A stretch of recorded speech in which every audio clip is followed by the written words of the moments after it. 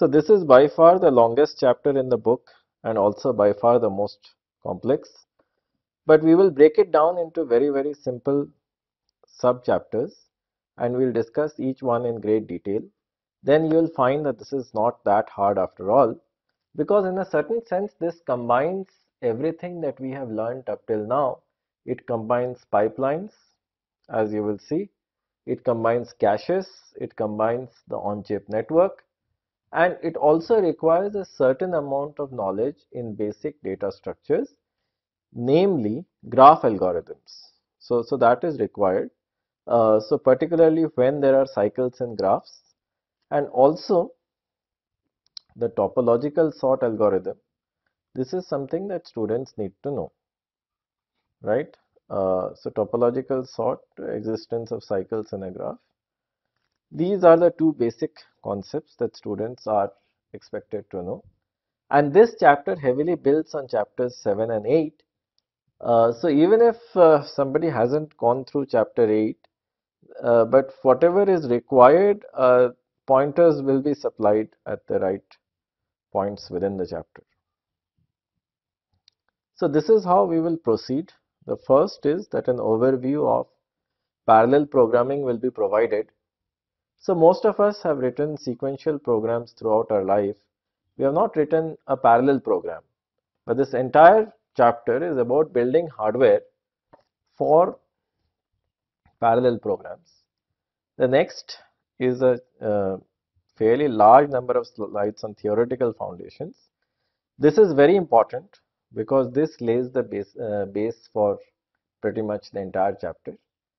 Then we will discuss cache coherence and memory models. So if somebody has understood this, then understanding these two is going to be very, very easy. And finally, we will discuss data races with a very, very important theorem that we will cover over here, which is very important for the correctness of uh, the entire system. So if somebody has covered all of these, I would say that they know almost enough to successfully survive and thrive as a multi-core engineer.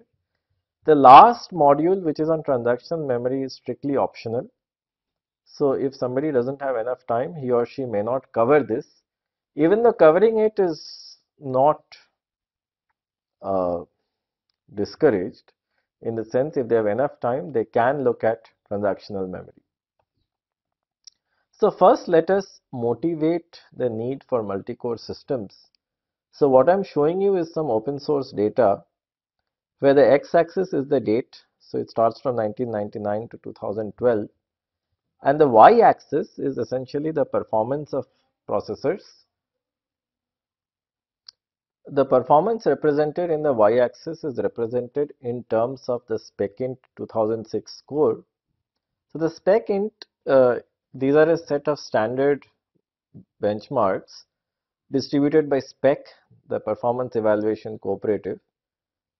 So a SPECint score is provided where the SPECint score is essentially uh, it is the ratio of execution time on a given machine with respect to a machine in the past.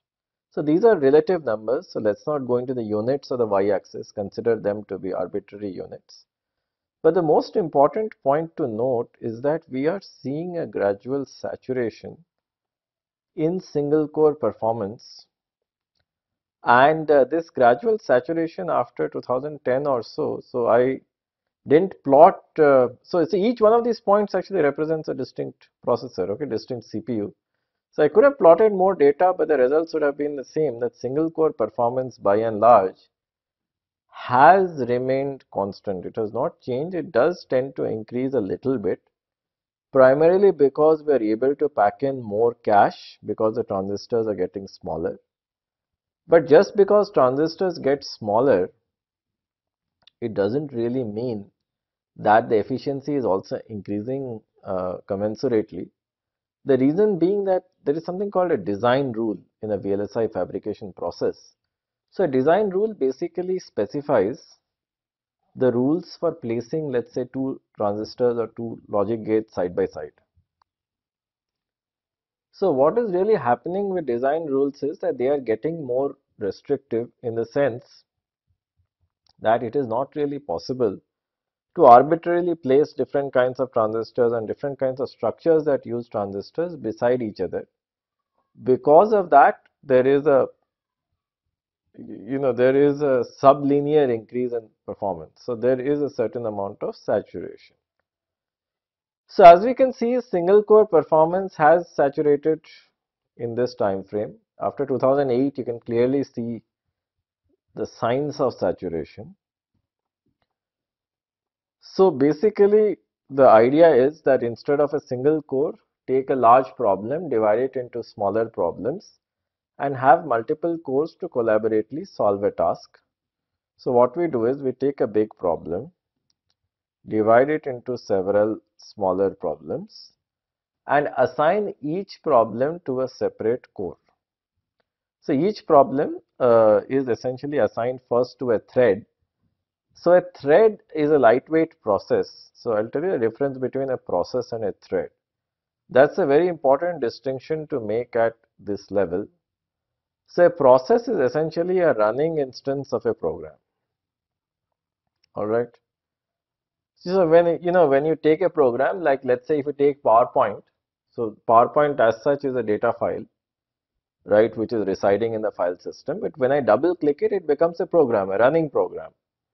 So a running program, instance of a running program is a process. So a process clearly has its virtual memory and open files, network connections, all of that.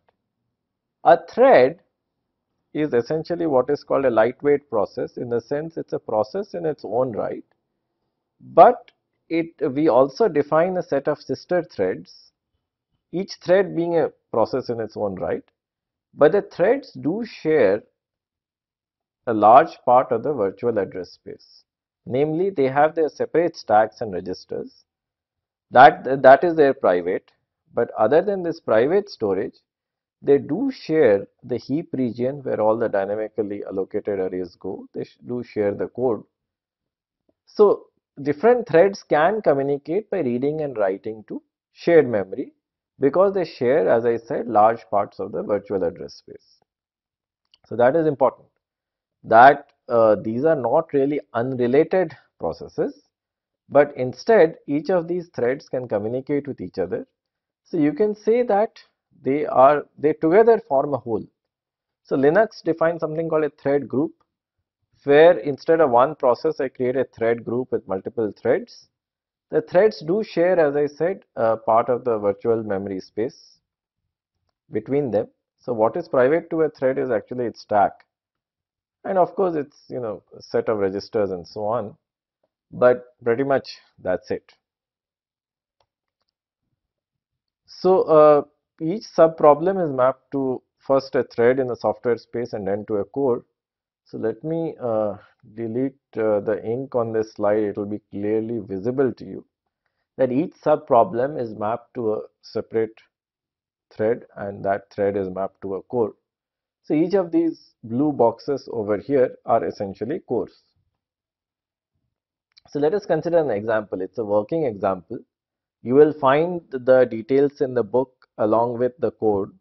So I will not explain the exact parallel programming semantics. That is not the aim of the book. So the aim of the book is to introduce two paradigms to you. One is a shared memory paradigm, other is a message passing paradigm. So we will again take some liberty with the syntax. So the syntax will not be exact, but let's put it this way, it will be similar. So what is the problem? We take an array numbers, which is a very, very large array. It can contain a billion elements, right? So it contains size elements and it's an array, it's a very large array. It contains size elements, okay? So the aim is to compute the sum of all of its elements, alright? That's the aim. So let's not worry about overflows. So let's assume that the entire sum does not overflow. So let's compute the sum of all the elements. So the way that this is done is that it is done by distributing the work among the n threads. So let us distribute them equally. So we divide the array into n parts. We assign each part to a code. So uh, what do we do? We take a large array. We break it down into let's say part 1, part 2, part n. Each of these parts is assigned to a core, alright. So we compute the partial sum which is the sum of each part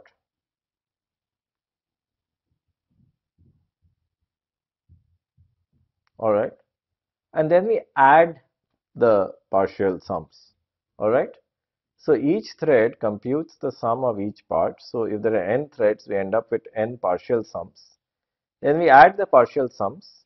So this first operation of actually dividing a large problem into smaller sub problems. The way we have partitioned this array is known as the map step and then each map step produces each step right uh, each step over here produces a partial sum and the partial sums are added and this process of addition of the partial sums is known as the reduce step. So you must have heard of the popular programming paradigm called MapReduce. So MapReduce is basically this.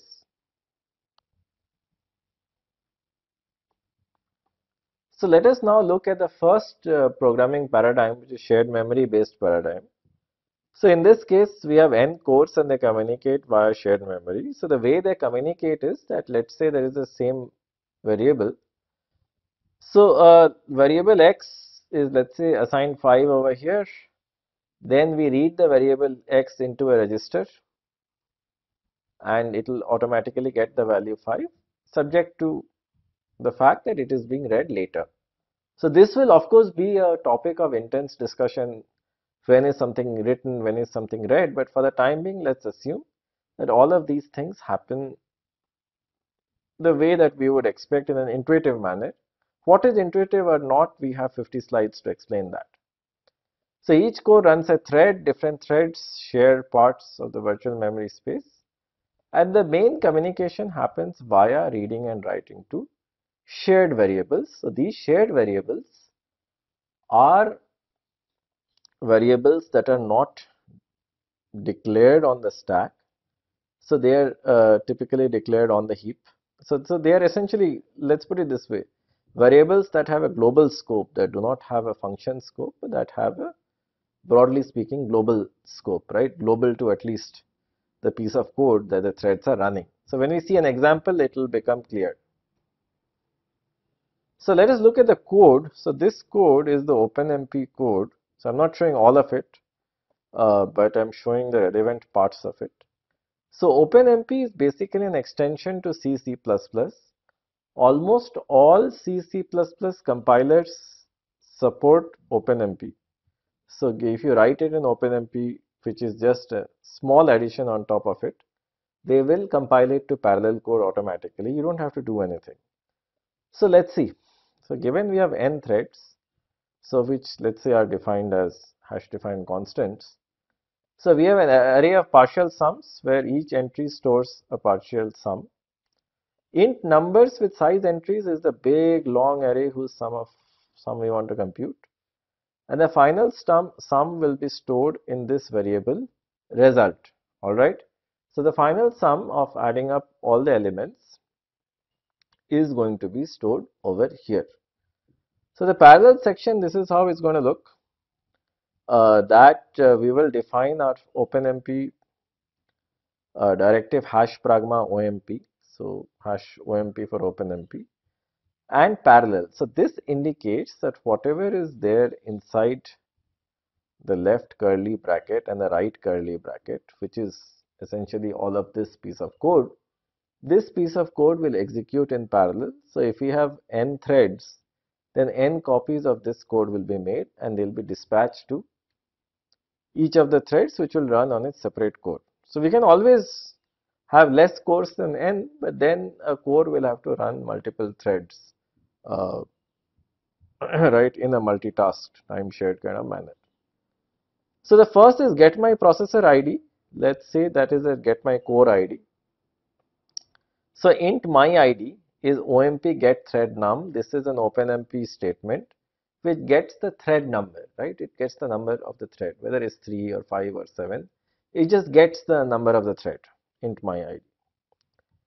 It adds a portion of the numbers So, uh, so what is my portion? Well, my portion starts from my ID. So core 0 gets 0, core 1 gets 1, core 2 gets 2 and so on. So I find the starting and ending, ending index of my portion of my array, which is essentially my ID into size by n and end uh, index is start index plus size by n. So all that I have is that I have a simple for loop that simply uh, uh, iterates through this portion of the array and then adds up all the numbers and stores them in partial sums my id. Of course, here the implicit assumption is that the entire partial sum, each of these uh, entries in partial sums, each entry is initialized to 0. That is the assumption. So after making that assumption, all that I do is I add up all the numbers for my part of the array. So each thread does that. So uh, considering a large array, if let's say it's broken into n parts, so thread 1, so let's count from 0, thread 0 would add everything in this chunk. Thread 1 would count everything from this, 2 would count everything from this and so on and so forth. So now all of their partial sums are stored in the array partial sums. Subsequently, the parallel section completes, right? So this was the lion's share of the work where the large problem was divided into small problems. So this part completes now. Then the sequential section begins. In the sequential section, all that we do is that a single thread which would be the thread that initiated this parallel processing. So the control returns back to it. It iterates from 0 to L and simply adds up all the partial sums and stores them in the variable result, which as you can see was initialized to 0. So this completes our processing. So as you can see, the primary feature over here is we have a parallel section and then we have a sequential section after that. The map portion of the work is done in the parallel section. And we are using two OpenMP directives here, hash pragma OMP parallel, to run a piece of code, copies of a piece of code on each core. And furthermore, we have a get processor ID, which is essentially get core ID, which gets the number of uh, so, so it's actually well, uh, I should I should be more accurate over here. It's actually get thread ID, and as I said, we can have many more threads and number of cores, and what we really care about are threads. So this gets the thread number, and the threads are numbered 0 to n minus 1. So from the thread number, we can find out uh, the starting and ending index of the portion of the array assigned to let's say thread i. Then all that we do is compute the partial sum for thread i. The same happens for the rest of the threads and then we add the partial sums. So here the simple directive is doing much more than what you think it is doing and it is handling the entire code of creating the threads, setting their state and dispatching the code to them. And the get thread num is very simple because even if let's say n copies of the same code are made, they will still return different values for this function and the values will range from 0 to n minus 1.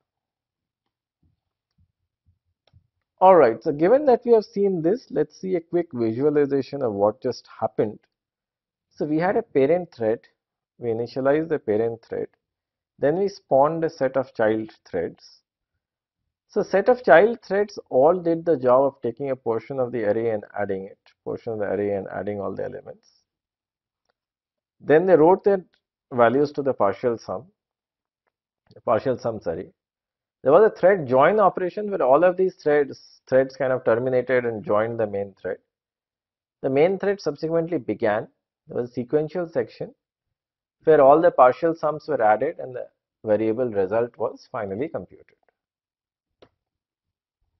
Now let's look at another paradigm, so which is not really used in multi-core systems, it is used in multi-processor systems where the multiple processors are connected over a network. So here the idea is that the cores communicate by sending messages to each other.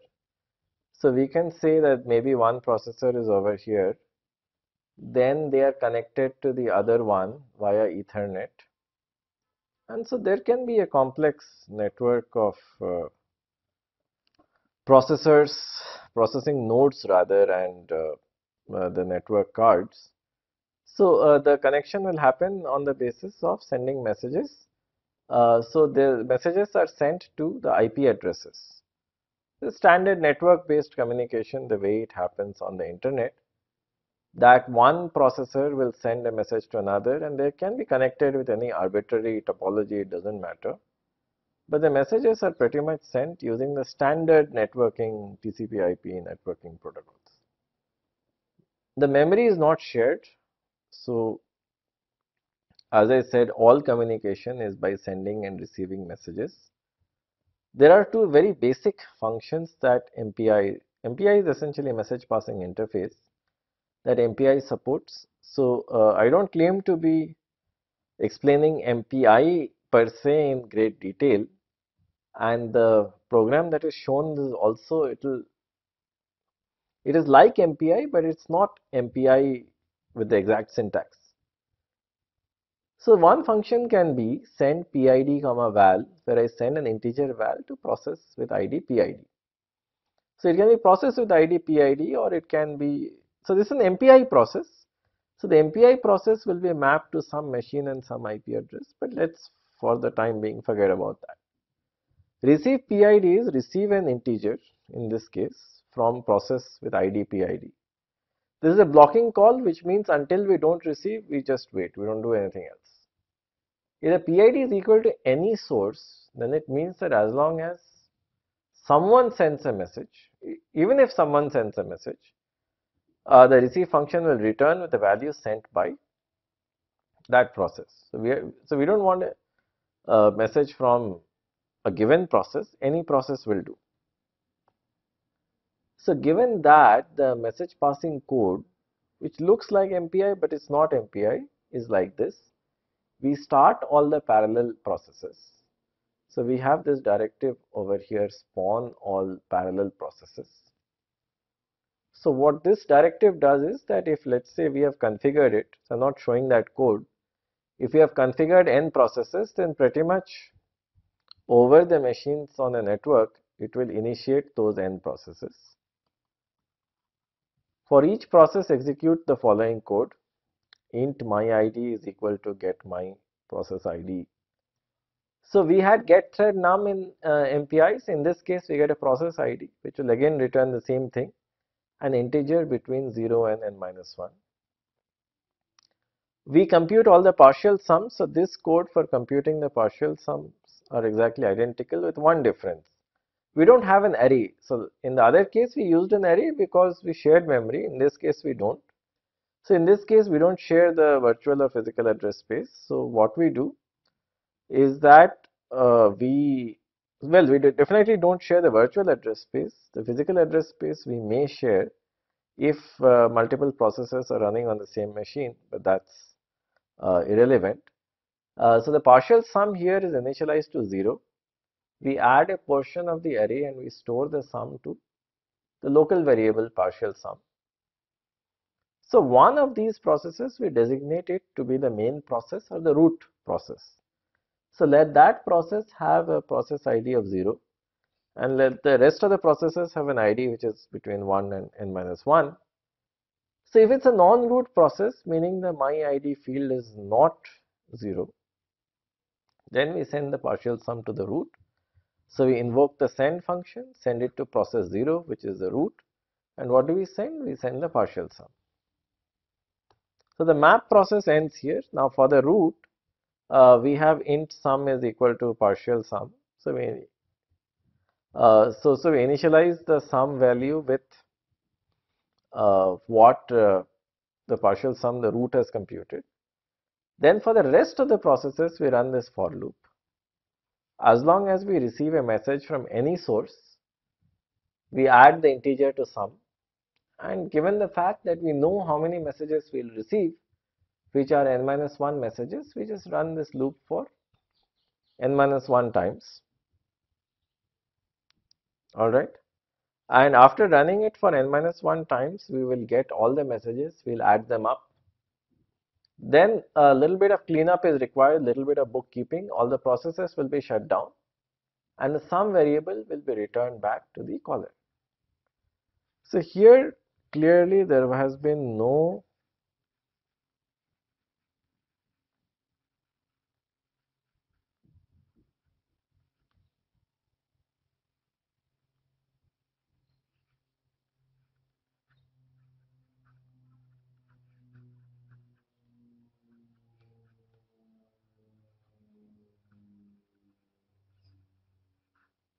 only transfer of messages, right? Only messages have been transferred without having a shared uh, virtual address space.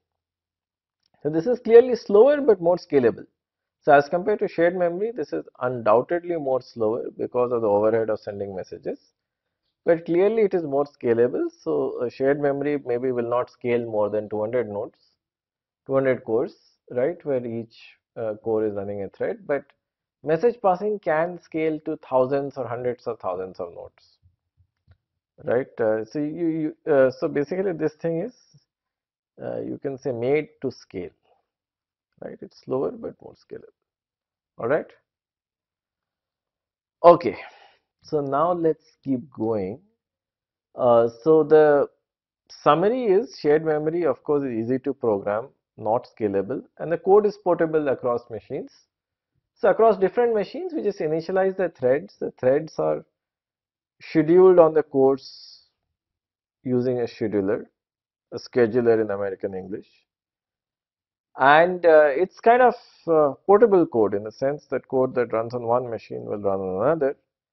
MPI is also portable because it's a it's a standard, but nevertheless it's hard to program if we are relying on hardwired IP addresses then of course the code is not portable at all.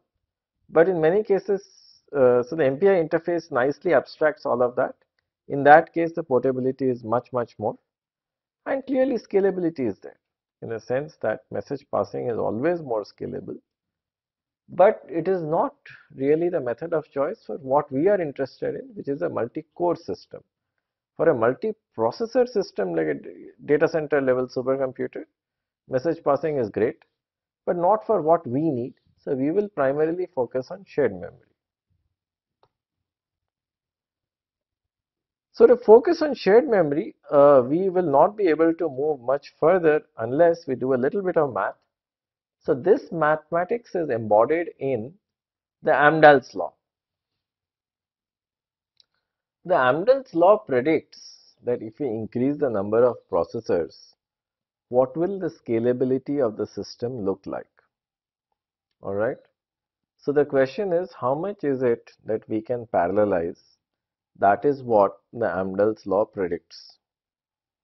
So we are limited by the fraction of the sequential section uh, which is fsec because as we have discussed a program, a parallel program in particular, has two sections. It has a sequential section where a single thread runs and we have a parallel section where the multiple threads run. So the Amdahl's law is by and large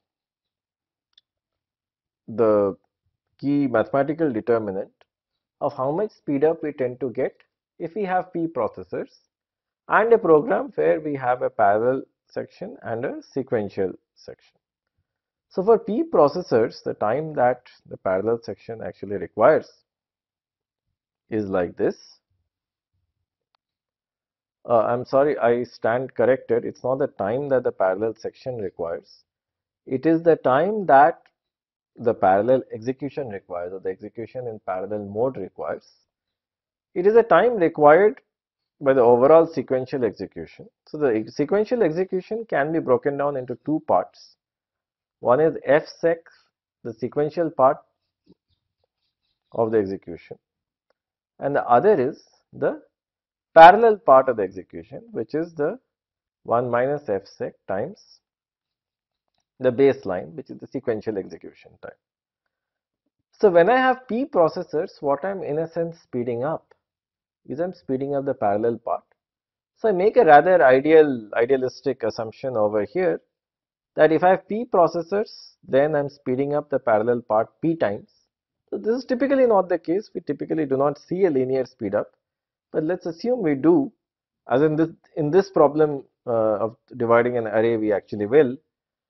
So what we will actually see is that the time required by the parallel section will be get will get divided by p the number of cores, the number of processing elements so the time, the parallel time will be given by this equation. So the speed up, which is t sec by t par, will actually be given by this equation, which is 1 by f sequential plus 1 minus f sequential divided by p.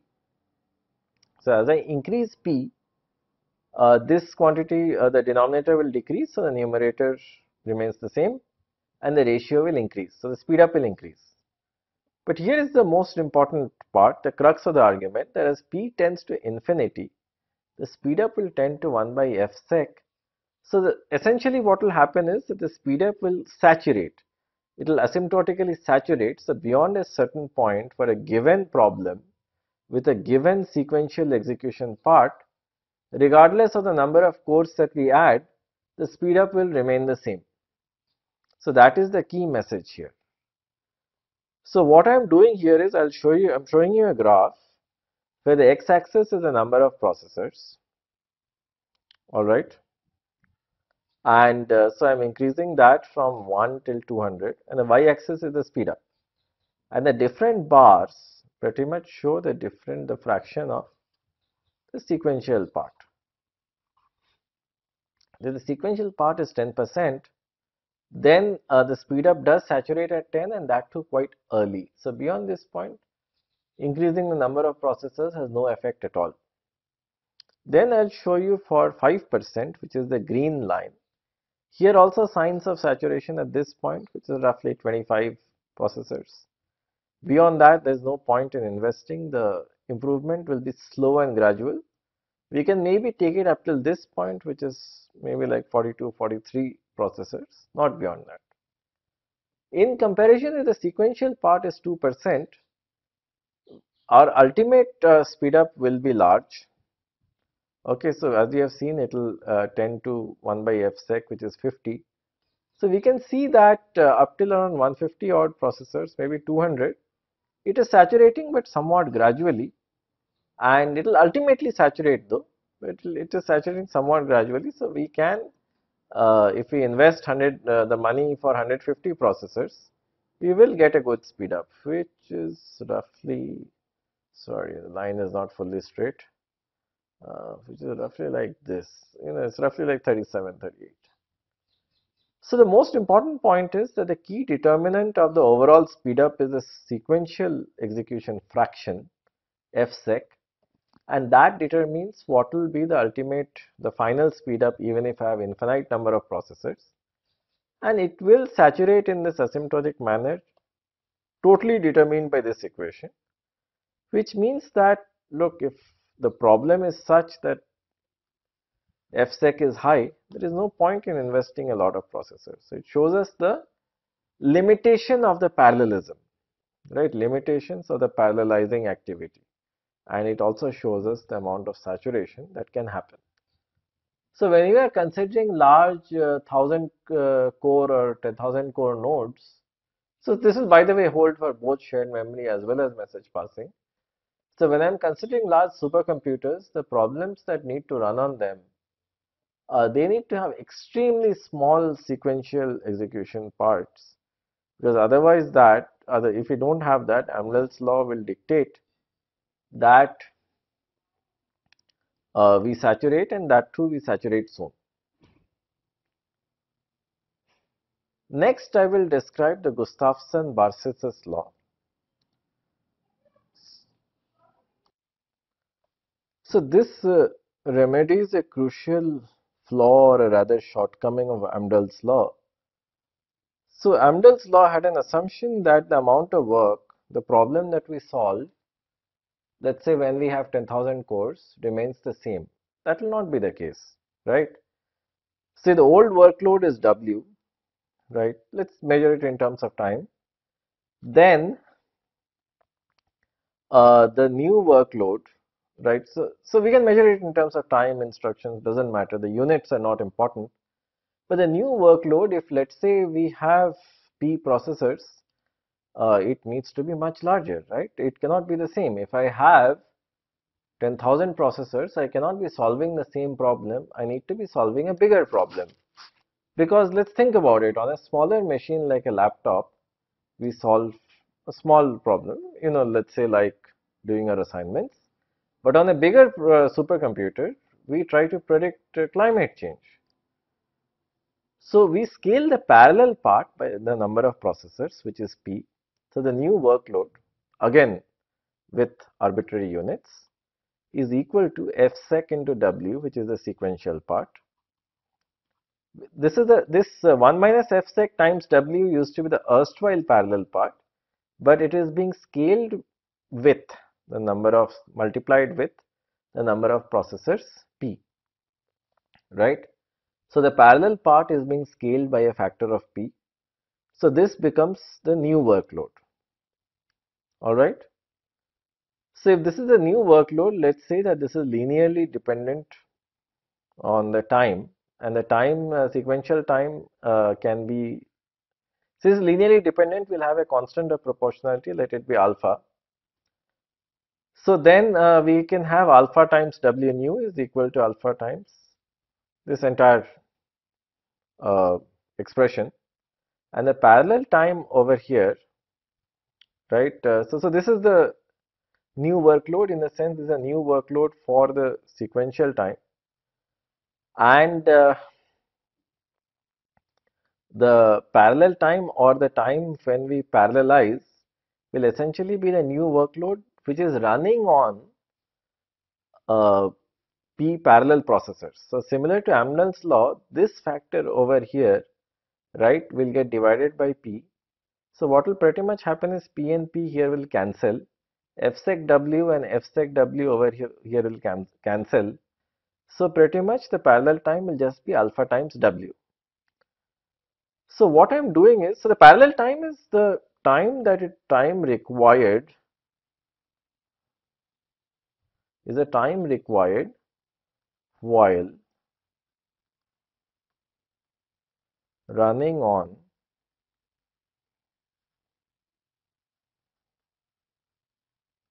P processors.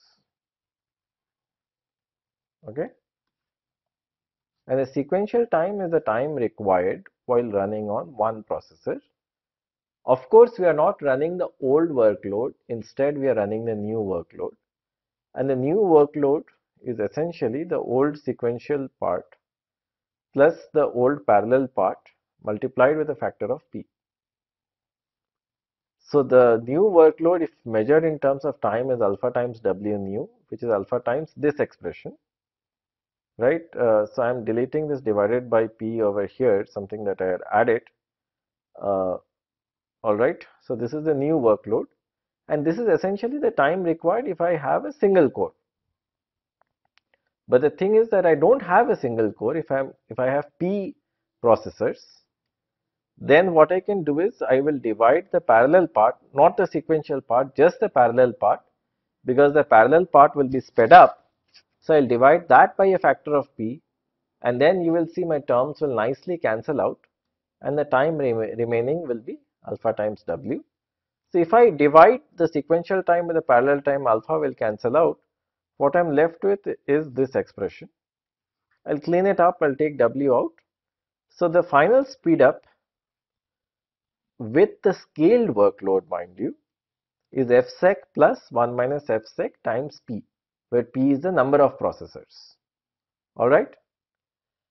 So uh, the, there are several interesting firsts over here. So the uh, key point is for a large p pretty much what you are seeing is that uh, the small fsec over here will uh, stop being a factor. So the speed up will pretty much become proportional to p. So let me see if I graph after this. Oh, sorry, I, I don't. Uh, but uh, the thing is, this thing can be very nicely graphed. So what you will see is that the speed up will become proportional to the number of processors, which is a good thing. And the, but of course the slope will be will be decided by 1 minus fsec. So so fsec in this case instead of being a limiter the way it was when we were dealing with Amdahl's law, the the fraction fsec over here is just deciding the slope, which is also important.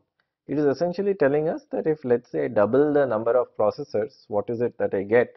And that will be decided by the slope, right?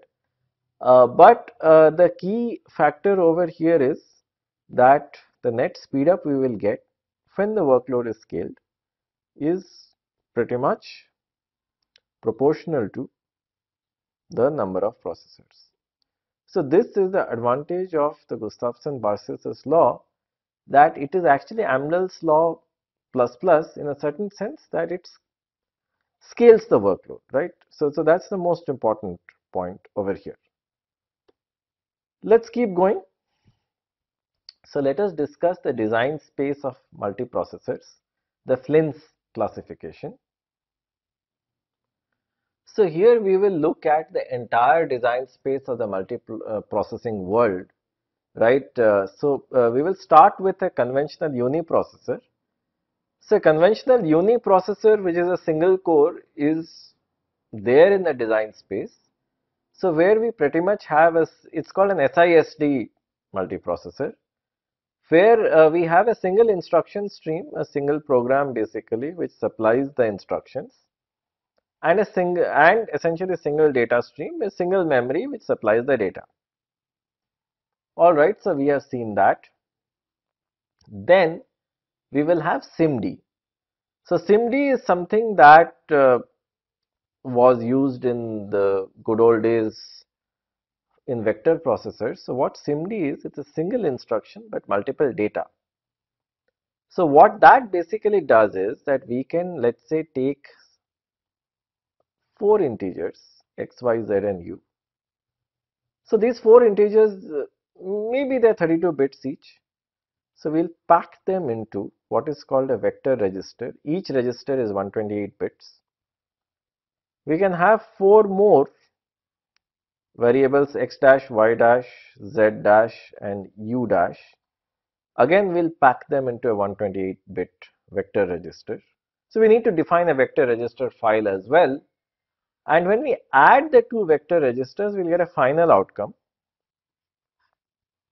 So the final outcome, so, so this entire addition, adding four numbers will be treated still as a single instruction where we'll add two vector registers, the output is a vector. So one instruction is adding four pairs of numbers, but the result is x plus x dash over here. Over here we'll have y plus y dash. Over here we'll have z plus z dash and over here we'll have u plus u dash all right so we perform pairwise additions of numbers but we perform four pairs using a single instruction so we have a single instruction but multiple data see multiple data x y z and u multiple data but single instruction then we will consider MISD where the data is the same which means that the problem is the same but there are different programs solving the same problem. So this is very rare, but one very, very important example is in aircrafts. So modern aircrafts are mostly computer controlled or autopilot and emergency response. A lot of things are computer controlled. But computers can make mistakes. Wires can get snapped. Programs can have bugs. So what modern aircrafts actually do is that they have three separate processors made by different vendors. So one could be Intel, one could be MIPS, one could be IBM. So then the same data, which is the same sensor data is provided to all three. All three produce the result. Say the result is turn left by 70 degrees, that is a result. All three produce a result, then a voting circuitry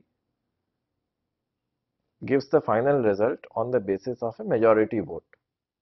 So here what we have is the same data, single data, because it all comes from sensors.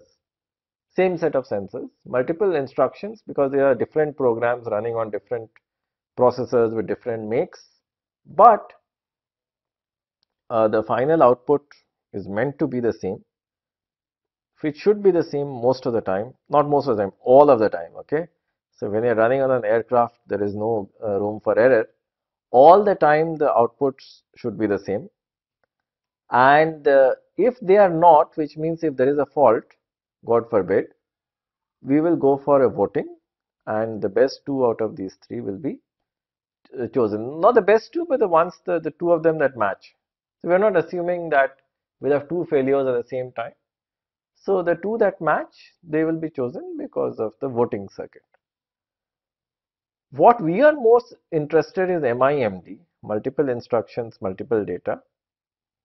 And uh, so this is what we will look at where the instruction stream is different, multiple threads.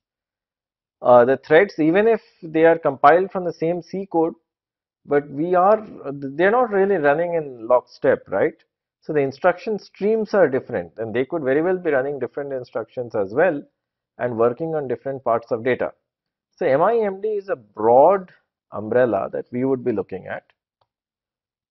So this is again uh, explained. So I would like to go over all four of these once again. A SISD as I said is a regular uni processor, a single core processor.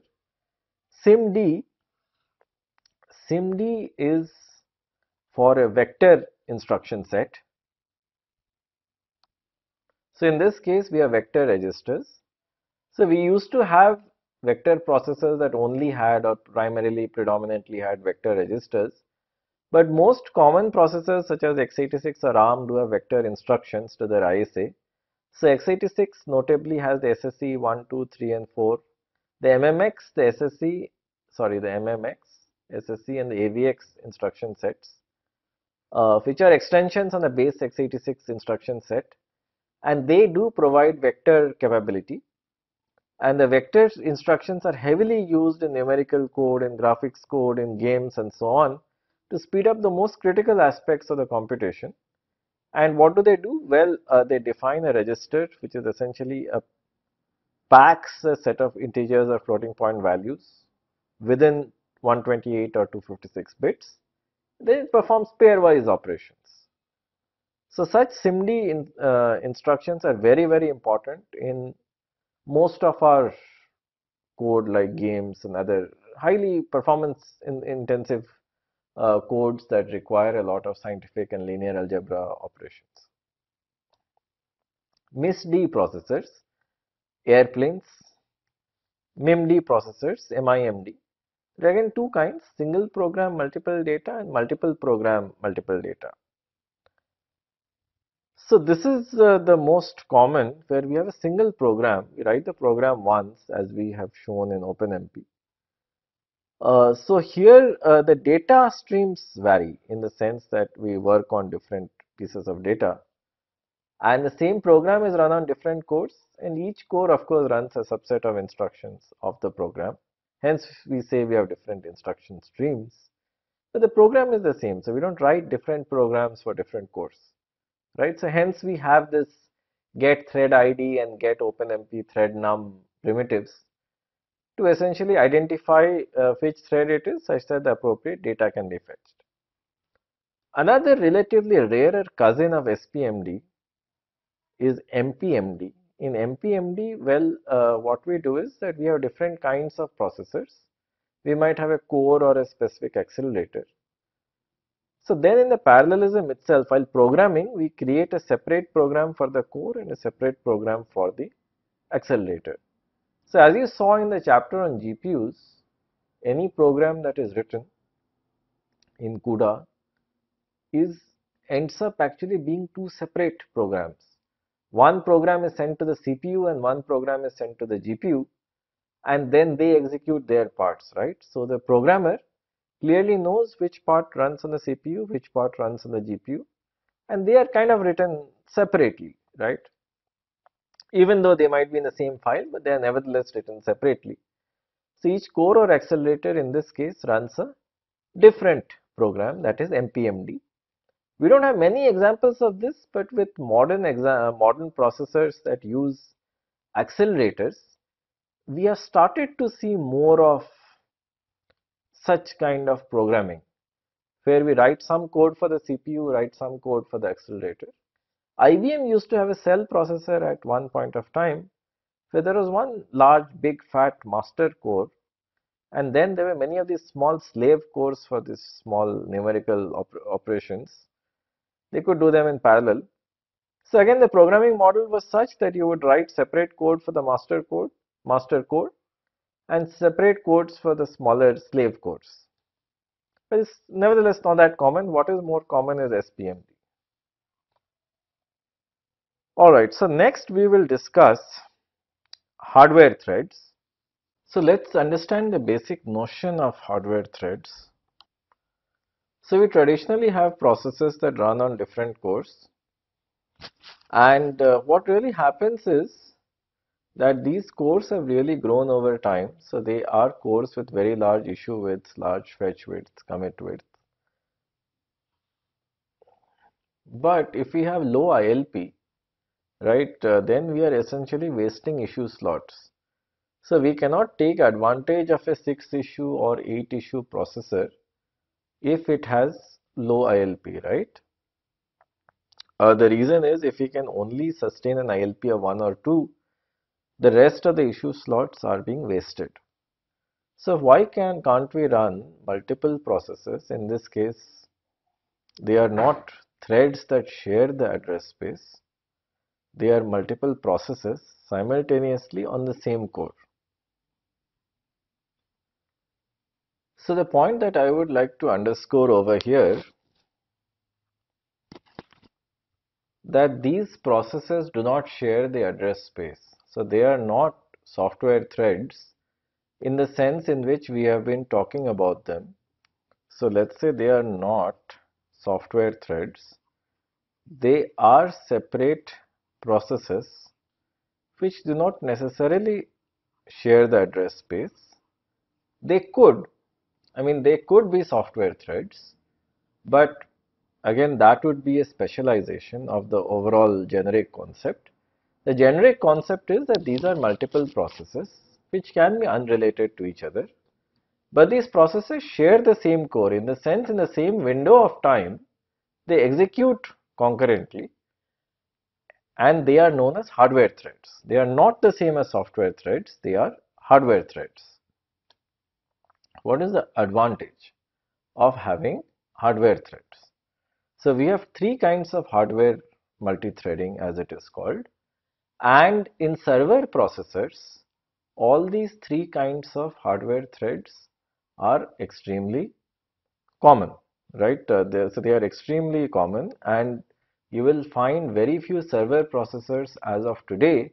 And today is 22nd of December 2020 where uh, you will find uh, a server processor that does not support hardware threads to some extent. So I'll tell you why it's that important. So what we can do is let's say we run instructions from thread 1 for k cycles. So in this k cycles what will happen? So typically we will encounter some long latency event in the sense that there will be a couple of memory requests. Those memory requests will go down to the memory system and fetch their data and we also need to understand one thing. Why is the ILP of some code low, right? Why do we see low IPC at the end? The reason we see is essentially because of memory misses. And also it can also be that the dependent structure is such that uh, we will not be able to run many instructions in parallel because it is really, uh, you know, it's a snake-like code uh, where there are a lot of dependencies. That can be the case, but most of the time it is because of poor memory behavior that we actually see a low ILP. Right? Uh, we sorry, we see a low IPC because it. We might have high ILP, but we'll actually see a low IPC because of it. So let's say that it is poor memory behavior, like poor cache locality, right? So in that case, what we can do is we can execute a few instructions we'll not be able to make a lot of progress because the data would not have come back. Then we switch to thread 2, execute a few more instructions for let's say k cycles. Then thread 3, thread 4 and we come back. By the time we come back to thread 1 our expectation is that a lot of the data from the memory system would have arrived. So what do we need? What do we need at the level of the core, at the level of the hardware to support such kind of multi-threading? So what we need is that we need separate program counters, one for each hardware thread. Separate uh, ROBs can be the same ROB, but then, well, it has to be a special kind of ROB that allows instructions of thread 2 to retire even the instructions of thread 1 are before it. Hence, better to have separate ROBs. Separate checkpointing state and retirement register files. Furthermore, rename table entries etc. can be shared in the sense we can have one master rename table. But of course the architectural registers and instruction packets have to be tagged with the thread ID right? So the thread ID will tag many of these structures including LSQ entries. So uh, the, if the LSQ is storing physical address then of course we can forward between threads across threads but if it is storing virtual addresses, so recall our discussion on whether LSQs store physical or virtual addresses in chapter 7. But if it is storing virtual addresses with some additional guarantees, then the thread ID needs to be there. Additionally, uh, we have some options with respect to physical registers. Uh, so I uh, have deliberately not mentioned that, but this is the right time to mention. See, either they have separate physical register spaces. In that case, the physical register should be tagged with the thread ID. Or if they share the physical registers, then of course the rename table will take care if you have a single free list. And uh, then what it will do is that it will just uh, assign physical registers to the different threads as it normally does. But it of course we will have to ensure that the, the partitioning uh, of the physical registers across the threads is perfect. In the sense, it's never the case that we create a dependency or we do not respect a dependence between uh, the producer and the consumer because of this. So this is doable. As I said, there are two ways, either separate physical register spaces where we tag it with the thread ID, uh, right? And so that will kind of indicate that which thread does it belong to. Uh, that is one option, right? And the next is that if there is a high latency event like an L2 miss, so then also we should switch from one thread to the other, which means we need not wait for k cycles. Let's say in the middle, uh, there is an L2 miss, right? So then at that specific point of time, we can switch. So for some of these very high latency events, coarse grained uh, multi-threading is a Good idea.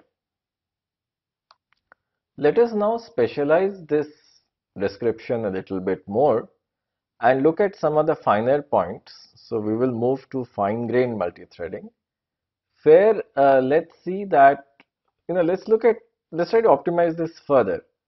So one is if there is a high latency event, which means that if it is, let's say in hundreds of cycles, then coarse-grained multi-threading is a good idea.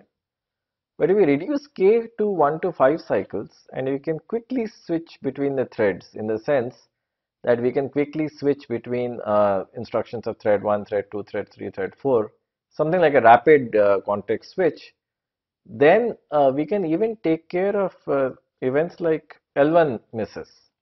So of course in the out of order processor a miss in L1 is not a major event because we might find enough independent instructions. Assuming we don't, and we find some of these low ILP phases, then we can quickly switch to another thread and the switching interval can be made kind of low, uh, let's say between in the ballpark of 1 to 5 cycles, maybe it can be more, uh, slightly more though. In that case, if you are switching between these threads, then this would be called fine-grained multi-threading. But of course, there are overheads. So what the fetch unit needs to do is it needs to be smart and of course, we will need to have separate branch predictors uh, for the different threads. Otherwise, they'll end up polluting each other. That is point number one. Decode unit can be shared. So maybe you can look at the pipeline, right? The fetch unit, of course, has to be separate. Decode unit can be shared because it does not maintain any state. The rename table, the rename table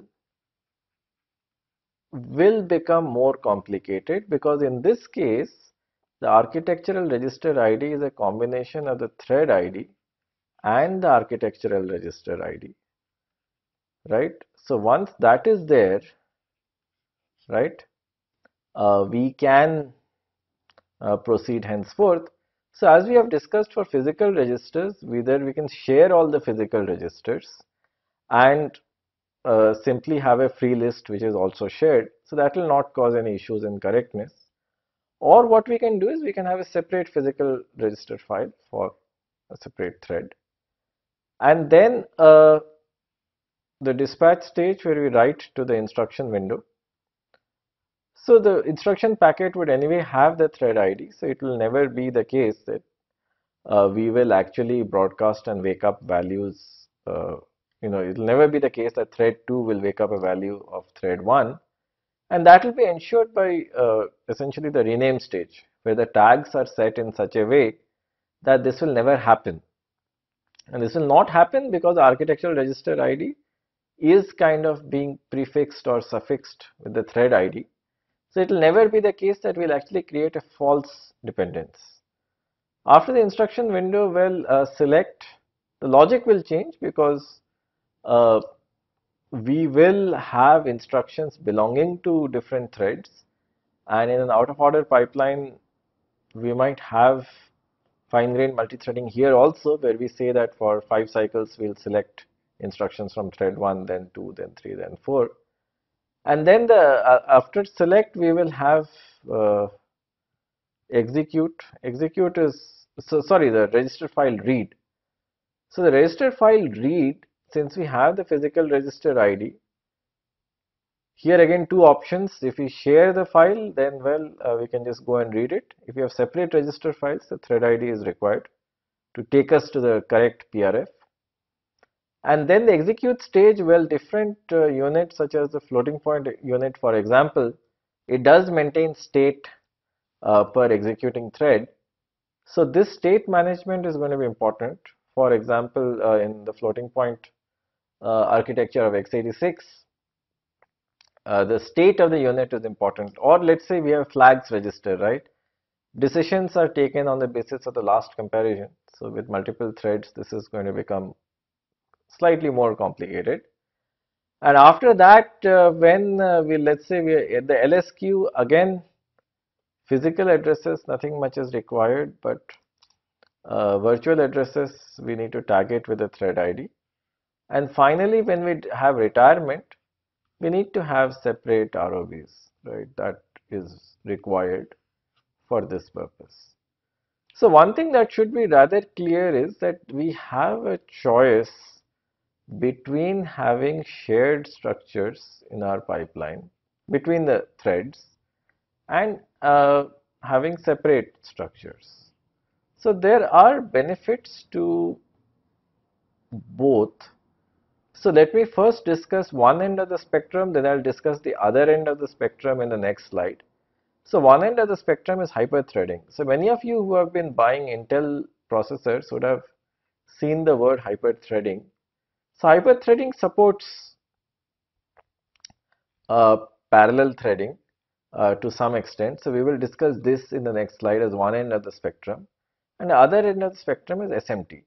So let's first discuss these terms and then we will describe the spectrum in between. So simultaneous multi-threading as we have discussed are, is the case where the hardware threads run simultaneously. And what we do is instead of you know fetching and executing uh, so instead of the coarse and fine-grained approach where essentially we say that look the next k cycles totally belong to thread 1 right? Uh, so then what does totally belong again is subject to interpretation. But we can always say that look for the next k cycles we'll only fetch and execute and issue instructions belonging to thread i. The, for the next k cycles only to thread i plus 1. That would be a coarse grained or fine grained way of doing things. But the SMT way of doing things would be that let's say if we have 6 issue slots and we have let's say four threads in the system we can dynamically split the issue slots between the threads so we can say that look we have an instruction window full of instructions belonging to different threads.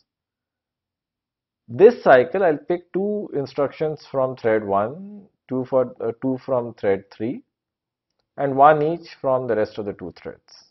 I, I can say that.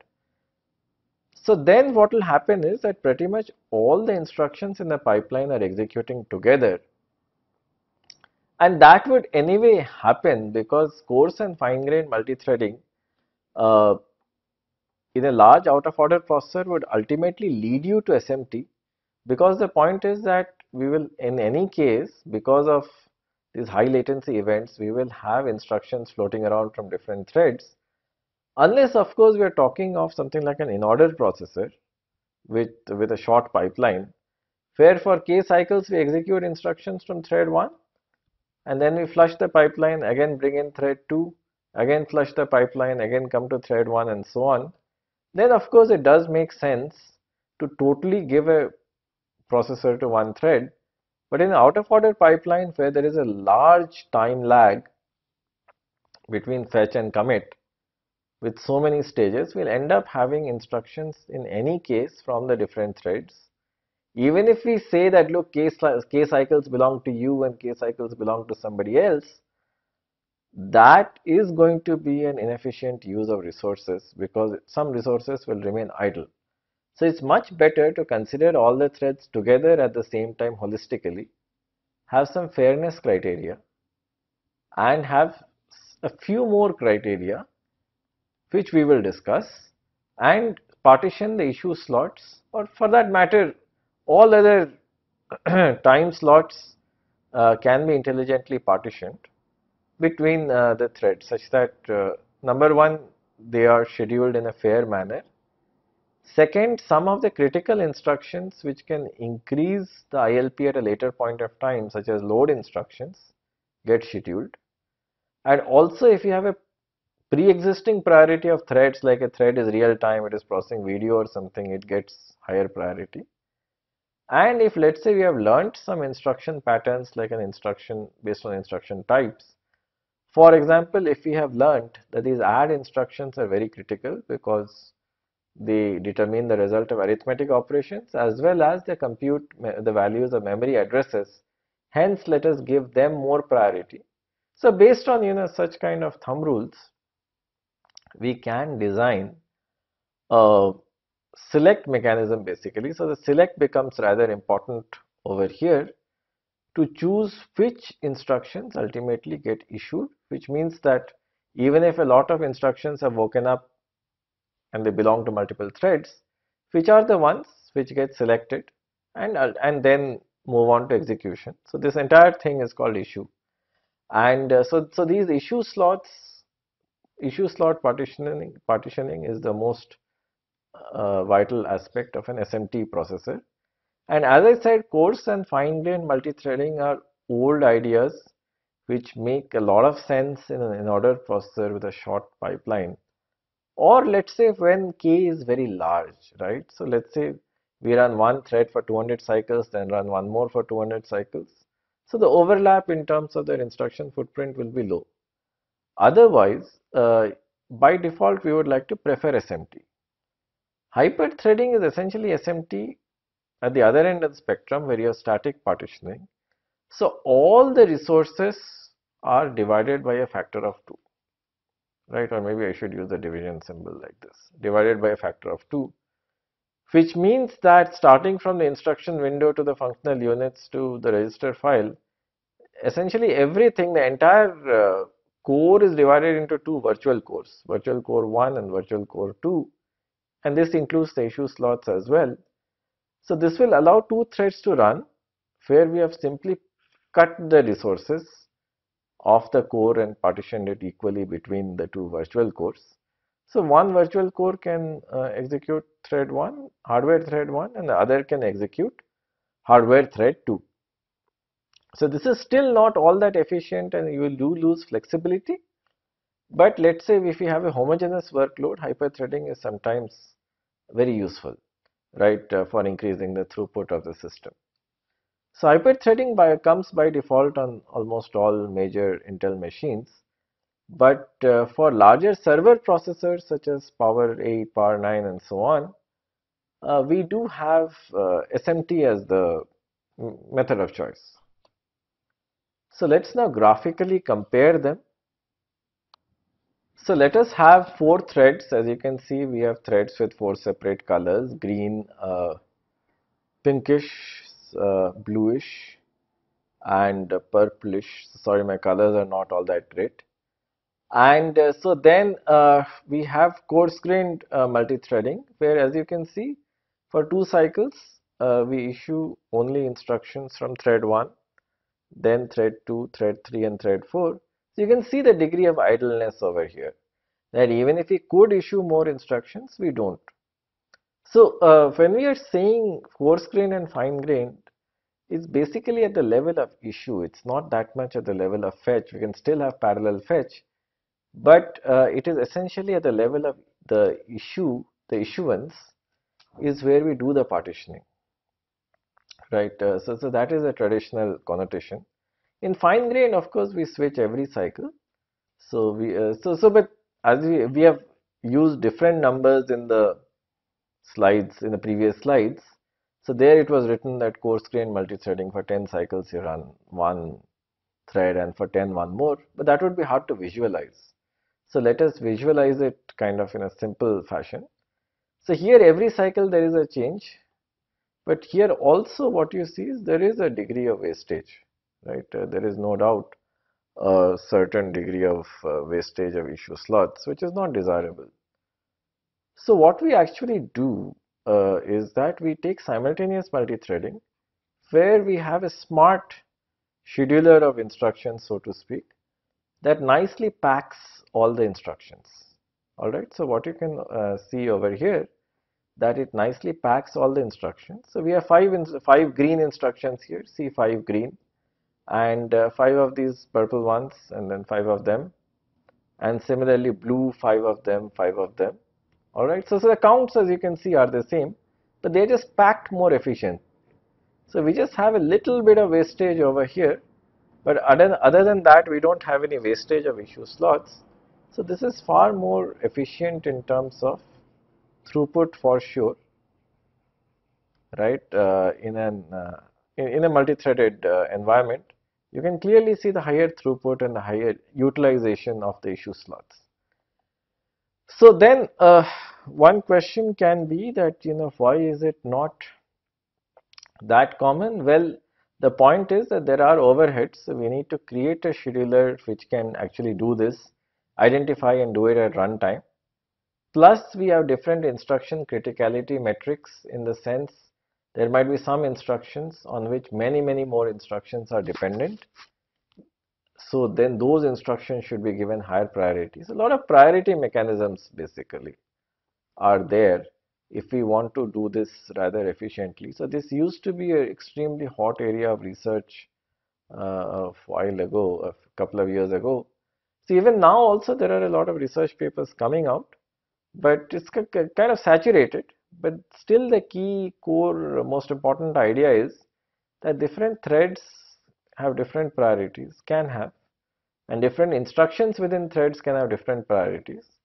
So efficient scheduling such that we maximize the throughput and also provide some per thread uh, quality guarantees. This is uh, difficult problem. There's a lot of work in this area. So a lot of these problems have also been solved to a very large extent. So SMT is clearly the most flexible. But if I would take Intel processors, they would consider only two threads and then they would hyperthread. So hyperthread basically means that you draw a vertical split. This part belongs to virtual core 1 and this part belongs to virtual core 2. When we have two threads that is. Alright, so we have completed most of parallel programming, at least the simple parts. So we discussed OpenMP.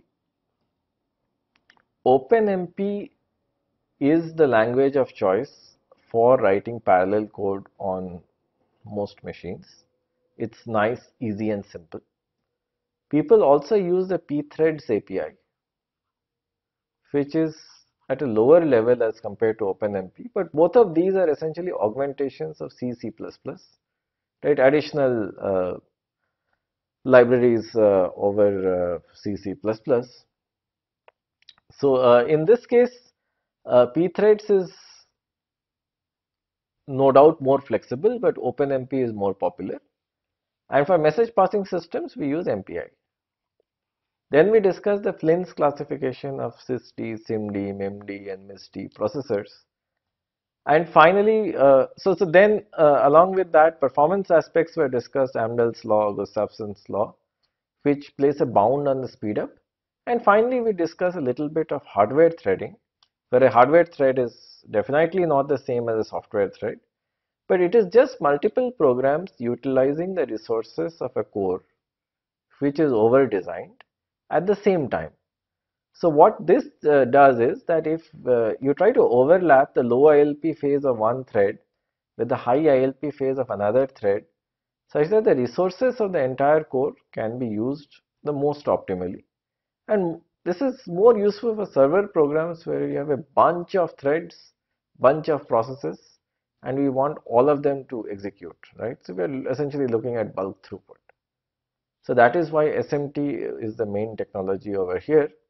So regardless of what we are using, so a modern server, you know, uh, has a lot of technologies and uh, so it clearly has a huge cache and it has a large number of cores. So uh, you can expect anywhere between 16 to 128 cores.